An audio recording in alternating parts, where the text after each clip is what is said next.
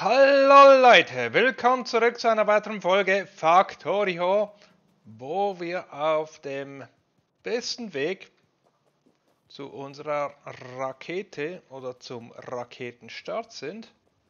Ähm, die ist hier unten, glaube ich. Ja, da ist das Raketensilo. Ähm, 15% äh, es mangelt ein bisschen an den äh, äh, Raketentreibstoff. Ähm, müssen wir noch was forschen? Nein. Wir haben nur noch unendlich Forschung. Das heißt, alles, was wir jetzt noch erreichen müssen, ist der Raketenstart mit dem mit einem Satellit. Und dann sind wir am Ende von dieser Serie. Und ihr könnt euch schon mal überlegen, was wir in der nächsten Serie machen sollen. Ich denke Mods definitiv. Ich habe mich aber noch nicht entschieden, welche brauchen wir den Satellit und wir brauchen einen.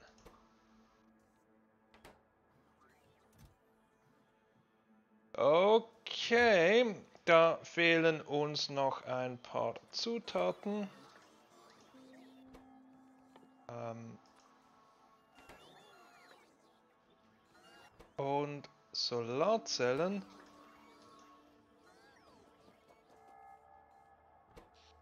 Aber das sollte ja kein Problem sein.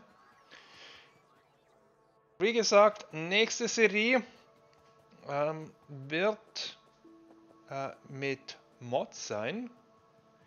Und ich möchte nicht gleich mit den äh, äh, komplexesten einsteigen, so dass wir äh, ein paar äh, Serien machen können, äh, wo die äh, Komplexität äh, sich langsam steigert und wir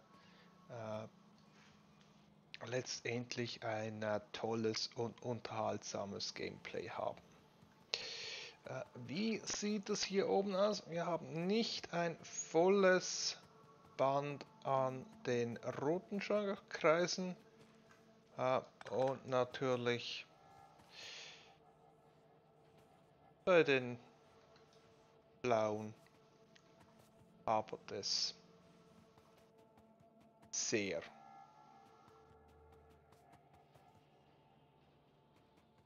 Hier oben, ja, da produzieren wir genügend, so dass sich das bereits auf den Förderband staut. Äh, und das heißt, das ist dann definitiv nicht äh, das, äh, das Bottleneck, das wir hier unten haben. Äh, hier sehen wir von den Steuereinheiten haben wir einiges drin, von den Leichtbauteilen haben wir nur Raketenbrennstoff. Da kommt zu wenig ran, aber vielleicht schaffen wir das bis Ende von dieser Folge, dass wir das auch noch ranbringen. Äh, würde vielleicht helfen, hier auch die vierte Maschine mit dem äh, äh, Festbrennstoff zu versorgen. Dann produzieren wir etwas mehr.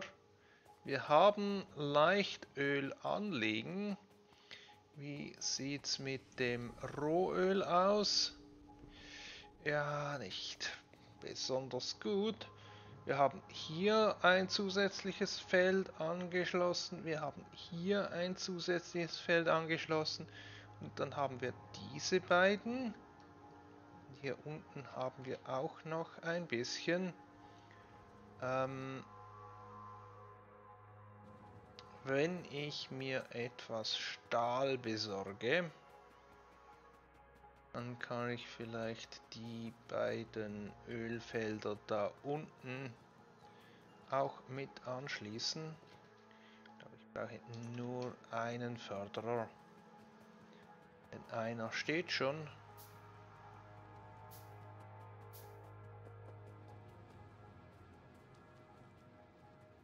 Abgesehen von Stahl äh, funktioniert unsere Schmelze soweit auch so gut, dass wir volle Bänder rausbekommen.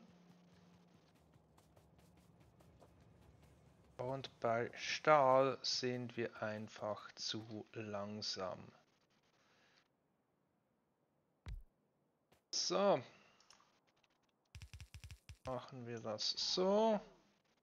Ähm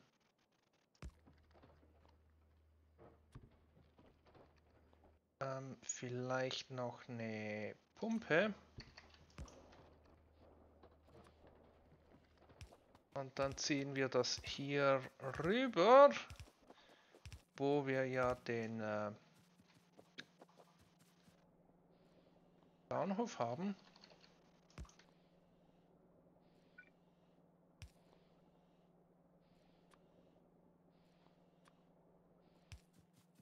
Hier runter.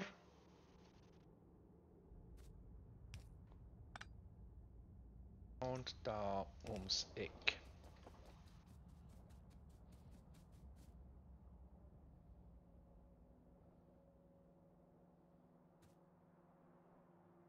Sehr gut. Vielleicht hilft das ein klein wenig, dass wir da beim Rohöl nicht ganz so knapp sind.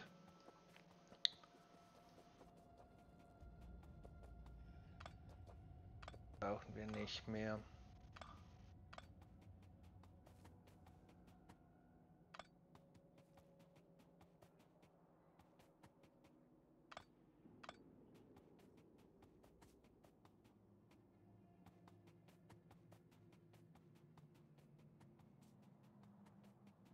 Und eigentlich wollte ich ja irgendwann auch mal die Forschung umbauen, aber ähm, wir haben ausgeforscht, äh, bevor es überhaupt so weit gekommen ist. Und dann, wie weit sind wir hier? 21 Prozent. Ja, da da fehlt noch etwas und ich denke nicht, dass wir das bis Ende von dieser Folge schaffen. Wie schaut es denn hier oben mit dem Satellit aus? Ja, da fehlen auch die äh, Festbrenn die, die, äh, der Raketentreibstoff. 50 brauchen wir und von denen, die werden gerade produziert auch hier definitiv nicht so viel.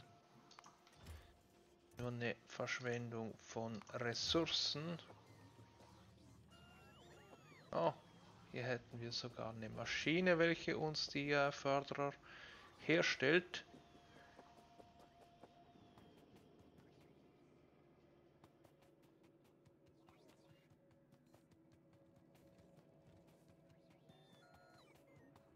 Haben wir hier oben ja, Batterien und die Elektromotoren brauchen wir gar nicht mehr. Das heißt, wir können eigentlich hier äh, abklemmen.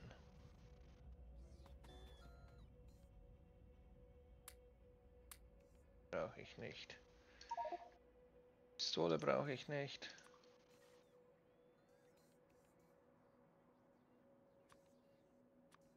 Auch nicht. Die Pistole brauche ich nicht. Ähm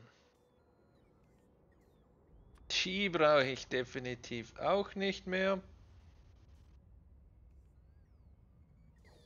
Ähm habe ein Auto zu viel einstecken. Also ich habe ein Auto einstecken. Und eigentlich sollten beide irgendwo rumstehen. das eine steht hier oben, das heißt, das Auto südlichen Abenteuer ähm,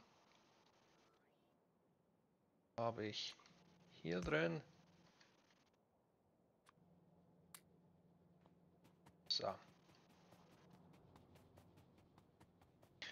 Hier sehen wir Stahl, die letzten paar schmelzen, da kommt gar kein Eisen mehr an. Ähm, weil wir hier vorne etwas äh, Geschwindigkeit drin haben, äh, ist das nicht ganz gleichmäßig aus aufgeteilt. Wieso haben wir zu wenig Strom? Was läuft da schief?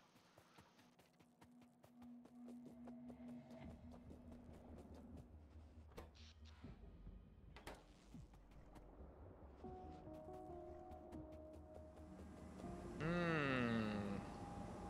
Sind die erst wieder angelaufen? Okay.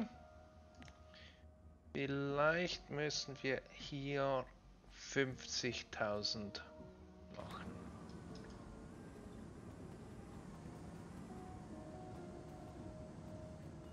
Dass wir hier sicher sind, dass wir keinen Versorgungsengpass äh, erleiden. Ja, nun sind wir wieder im grünen Bereich, aber wir sehen hier, ups, da hatten wir einen Knick und dann mussten äh, die anderen Maschinen einspringen und das haben sie haben es nicht geschafft unseren äh, Bedarf zu decken.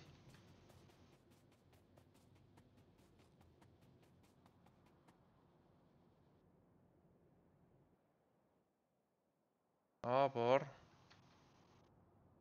so weit, so gut.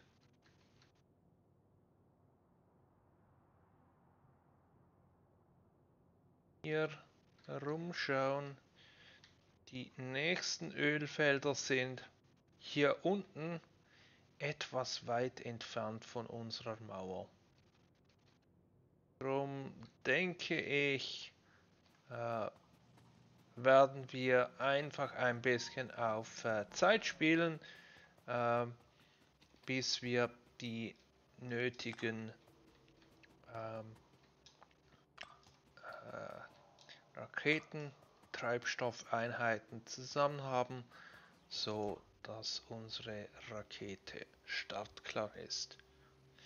Äh, da das äh, ein bisschen Zeit beanspruchen könnte, denke ich, mache ich hier einen Schnitt äh, und dann schaffen wir es, äh, wenn die Rakete startklar wird.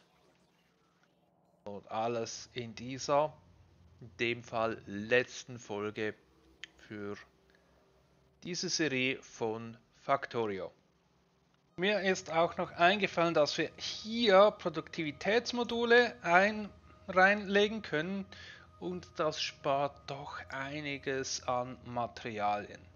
In der Zwischenzeit sind auch die Leichtbauteile knapp geworden, weil die werden ja auch für die gelben Fläschchen äh, benötigt. Aber da habe ich äh, die Produktion abgeklemmt, denn wir brauchen ja keine Forschung mehr. Und nun, Rakete ist fertig. Der Satellit wird reingepackt und dann starten wir das Teil. Und ich denke mit den Fabriken da oben, das funktioniert nicht mit äh, Mitrennen und ich glaube ich bin auch zu langsam.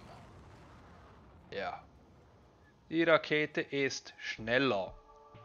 Und da haben wir es, Spieldauer 44 Stunden. Das ist etwas mehr, als ich gehofft habe.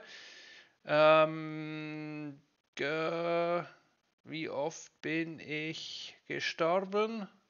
Steht das auch irgendwo hier drin?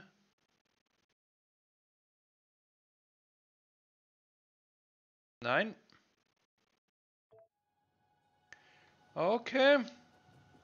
So, Leute, das war's von dieser ersten Serie Factorio. Ich hoffe, es hat euch gefallen. Äh, und äh, wie am Anfang erwähnt, macht euch Gedanken, was ihr sehen wollt in, äh, in der zweiten Serie. Äh, welche Mods, äh, welche Spielart und äh, dann werden wir bald, nicht unmittelbar, aber bald mit der zweiten Serie beginnen. Also, bis dann und tschüss.